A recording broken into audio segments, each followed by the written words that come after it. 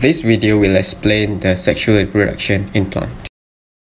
The flower has two reproductive parts, the male and the female. Stamens are part of male reproduction. Carpel are part of female reproduction. Sesetengah bunga mempunyai kedua-dua bahagian pembiakan ini dan dipanggil sebagai bunga bisexual. Contoh adalah seperti bunga pi, bunga rose Cina, bunga raya dan lain-lain.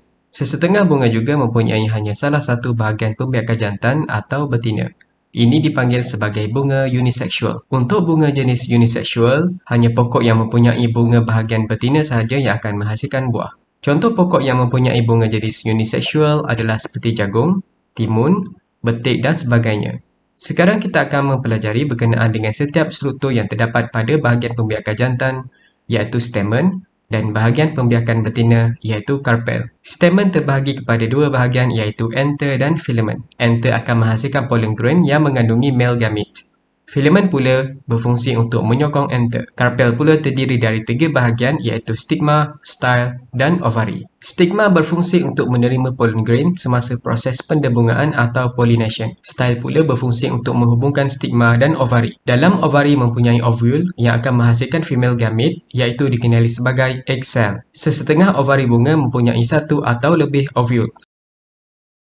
Dalam sexual reproduction in plants, male gamete akan bercantum bersama female gamete atau egg cell untuk membentuk zygote. Ini dikenali sebagai proses persenyawaan atau fertilization process. Dan untuk fertilization process berlaku, Pertamanya, male gamete mestilah dapat mencapai female gamete. Ini adalah kerana male gamete terletak pada anther yang tidak bersambung dengan bahagian pembiakan betina. Jadi, proses pendebungaan atau pollination akan berlaku. Pollination is the transfer of a male gamete from anther to the stigma. Jika pollen grain dari anther berpindah ke stigma bunga yang sama, ia dipanggil self-pollination. Jika pollen grain dari anther berpindah ke stigma bunga yang berlainan, tetapi spesies yang sama, ia dipanggil sebagai cross-pollination. Self-pollination dan cross-pollination ini sudah pun diajar sewaktu sains PT3. Pollination berlaku dengan bantuan pollinators agent seperti angin, air dan haiwan seperti lebah dan rama-rama.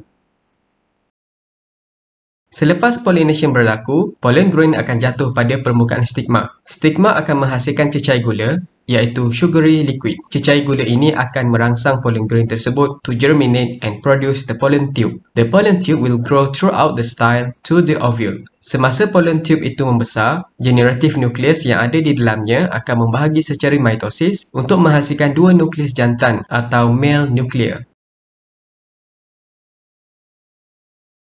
Selepas itu, pollen tube sampai ke ovari dan masuk ke dalam embryo sac melalui micropyle. Pollen tube nucleus disintegrates. One of the male nuclei fuses with the egg cell female gamete untuk menghasilkan zygote yang diploid. Zygote akan berkembang untuk membentuk embryo. Embryo akan berkembang untuk menghasilkan radicle, plumule dan cotyledons.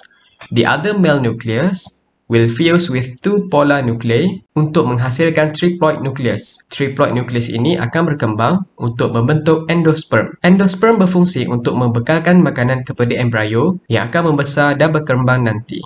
Oleh kerana ada dua persenyawaan yang berlaku, jadi ini dipanggil sebagai double fertilization. Selepas persenyawaan berlaku, zygote dan triploid nucleus akan dihasilkan. Zygote akan berkembang membentuk embryo di dalam ovule. The outer integument of the ovule become the seed coat or testa. The function of testa is to protect the seed. Keseluruhan ovule akan menjadi biji benih atau seed. Ovary akan menjadi buah. Kesemua bahagian bunga lain selain dari ovary seperti sepal, petal dan stigma akan layu dan tercabut.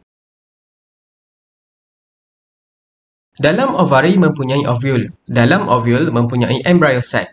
In embryo sac, contain mother cell which is diploid. Embryo sac mother cell akan melakukan meiosis dan menghasilkan empat sel haploid yang dikenali sebagai megaspores. From these four haploid cell megaspores, three of the cell will disintegrate. Baki satu haploid sel megaspore tadi akan berkembang dan membesar dan akan melakukan mitosis sebanyak tiga kali. Ini akan menghasilkan 8 nukleus yang haploid. Nukleus-nukleus ini berkongsi cytoplasma yang sama. Embryo sac pula akan matang dan dipanggil sebagai mature embryo sac. Tiga daripada nukleus akan bergerak ke hujung atas bertentangan dengan mikropil dan membentuk sel yang dipanggil sebagai antipodal cells. Tiga nukleus lagi akan bergerak ke bawah berhampiran dengan mikropil. Dua dari nukleus ini akan membentuk synergid cells dan satu lagi akan membentuk egg cell iaitu female gamete. Baki dua lagi nukleus akan berada di tengah-tengah embryo sac untuk membentuk polar nuclei. When fertilization takes place, only egg cell and polar nuclei will be fertilized. The synergid cell and antipodal cells will disintegrate.